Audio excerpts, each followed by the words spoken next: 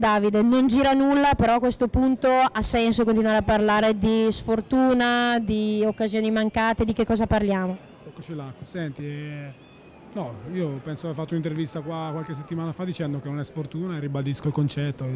Se ci nascondiamo dietro la fortuna mi sembra un discorso troppo riduttivo. Dobbiamo solo farci un esame di coscienza, sentirci in discussione tutti dal primo all'ultimo e basta, cercare di dare qualcosa in più, tanto parole non ce ne sono da dire, se ne sono fatte talmente tante, parliamo sempre, lo spirito di qua, lo spirito bisogna dimostrarlo e lo dobbiamo assolutamente fare. Facciamo della psicologia da quattro soldi, sempre che sia possibile farla, ma voi sentite cambiare qualcosa dentro di voi tra un tempo e l'altro, da una fase all'altra della partita? Perché il Brescia del primo tempo è stata una cosa, è stata una squadra, il Brescia del secondo assolutamente irriconoscibile.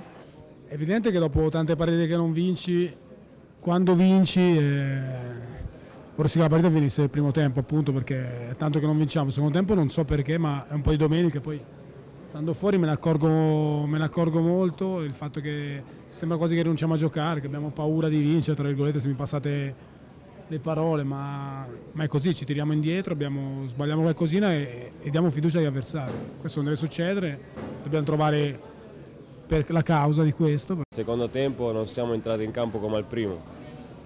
Ma questo perché è una questione fisica, perché non ne avevate più ordini di scuderia?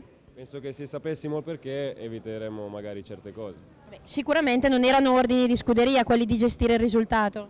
Assolutamente no, anzi il mister ha preparato benissimo questa partita, in campo poi andiamo noi giocatori, quindi penso che ognuno di noi deve deve cercare di tirare fuori qualcosa in più perché dopo un paio di partite puoi parlare di sfortuna, puoi parlare di arbitri, cercare alibi, ormai non esiste più niente, ormai siamo noi